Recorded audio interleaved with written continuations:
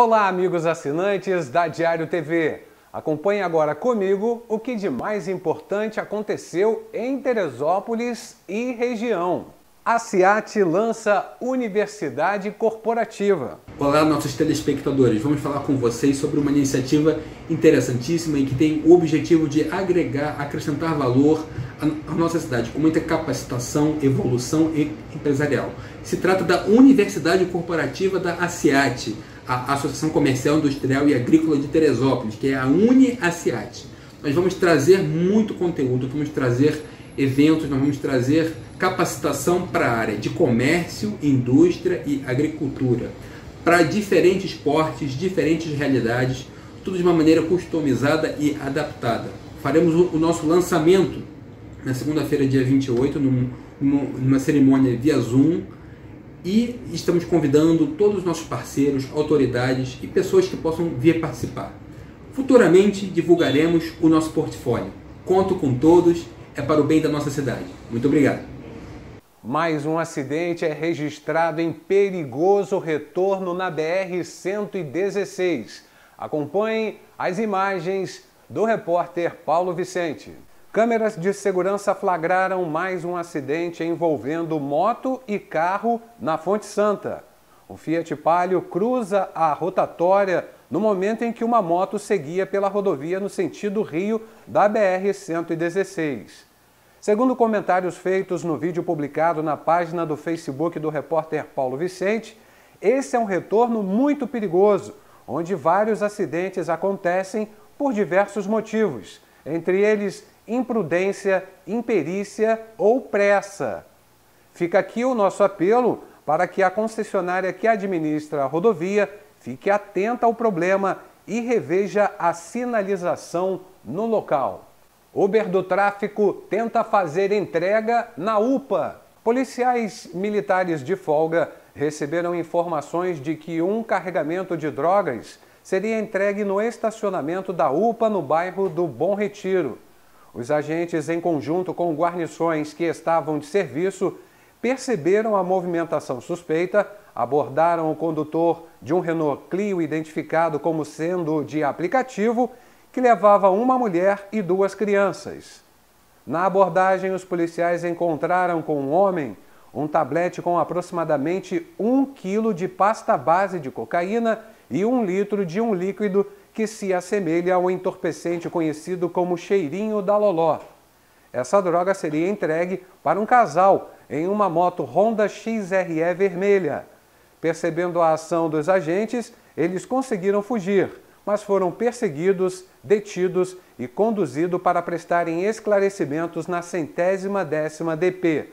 A droga e o motorista de aplicativo também foram levados para a delegacia. Construção que ameaça cair no panorama começa a ser demolida. Para o alívio dos moradores da rua Oscar da Silva, no Panorama, finalmente começou a demolição de uma construção irregular que ameaça desabar na rua Albert Sabin. O prédio de cinco pavimentos foi construído num terreno que aparenta ter até 60 graus em declive.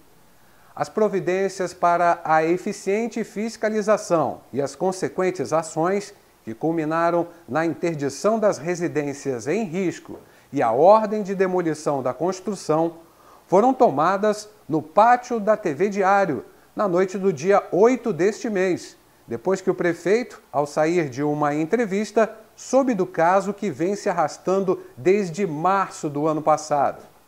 O serviço de demolições começou de forma criteriosa, respeitando todos os requisitos necessários para assegurar a integridade de técnicos e operários, com monitoramento da inclinação e retirada gradativa do entulho proveniente da destruição.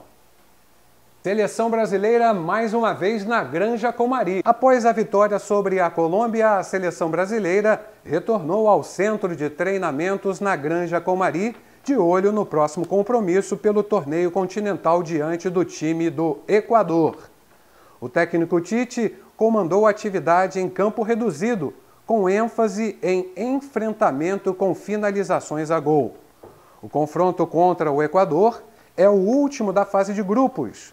O Brasil, o Brasil já está classificado para as quartas de final da Copa América e, portanto, já sabe que seguirá jogando no Rio de Janeiro, se for avançando na, na competição. Ao desejo da Comissão Técnica do Brasil de trocar de sede, pois o gramado do estádio Newton Santos está muito desgastado. Muito bem, você que acompanha o nosso boletim sabe que quem apresenta diariamente aqui é o Marcelo Medeiros, que está de férias e está na sua jornada de peregrinação para Aparecida do Norte, uma peregrinação que Marcelo vem fazendo de bicicleta. E você pode acompanhar toda essa aventura do nosso, do nosso repórter através da sua página no Facebook. Confira as imagens dessa aventura com lindas fotos e também com todo o relato de Marcelo Medeiros sobre tudo que vem acontecendo nessa viagem. E agora, para a gente encerrar o nosso boletim, a foto do dia com Vanderlei Pérez. A nossa imagem de hoje são fotografias do ginásio Pedrão, que foi construído entre os anos 1977 e 1982, inaugurado naquele final de ano pelo prefeito de então, Pedro Jara, que ficou seis anos na prefeitura, e que ainda deixou coisas por fazer na gestão seguinte, no período do Luiz Barbosa e ainda um pouquinho no período do Celso. O ginásio é uma obra muito grande e algumas coisas ficaram para fazer depois. Mas foi uma obra muito importante, muito à frente do seu tempo e feita toda ela com recursos da prefeitura por empresas de Teresópolis né, e que hoje ainda é subutilizado. As pessoas não têm noção da importância do ginásio e do quanto ele pode ser útil à cidade. Imagina é, o Pedrão hoje, nesse tempo de pandemia, sendo usado como hospital de campanha. Naquela quadra do Pedrão cabe ali 60, 70 leitos UTI. E o Pedrão já tem banheiros, é, luz forte, é, uma rede própria, gerador próprio, né? Cobertura própria, é só fazer as divisórias e colocar os leitos. Não sei como é que ninguém colocou isso para funcionar até hoje, a gente fica dependendo de leitos de hospitais vizinhos, né, de cidades vizinhas. Mas além dessa possibilidade de, de atender a outros setores da administração municipal, e já atendeu nas tragédias que a cidade é, sofreu, no próprio 2011, foi, foi usado o Pedrão para atender as vítimas, em outras enchentes também. Né? Então, o Pedrão é, foi uma obra muito útil para Teresópolis. E uma obra construída com recursos da educação, recursos próprios do município. Né? Prova de que, quando se quer, se faz. E se fez, naqueles anos, final dos anos 70, início de 80, uma grande obra é, para a cidade, que ainda é subutilizada, vamos lembrar isso. Tem um potencial para muito mais do que apenas ser uma escolinha de esporte, como vem sendo utilizado nesses últimos, nesses últimos anos. É isso. Fotografia de hoje: Ginásio Pedrão, construído com recursos da prefeitura e que pode ser muito mais útil à cidade do que vem sendo. Essas e outras informações você pode conferir em netdiario.com.br ou nas nossas redes sociais, Facebook, YouTube ou Instagram. Até a próxima!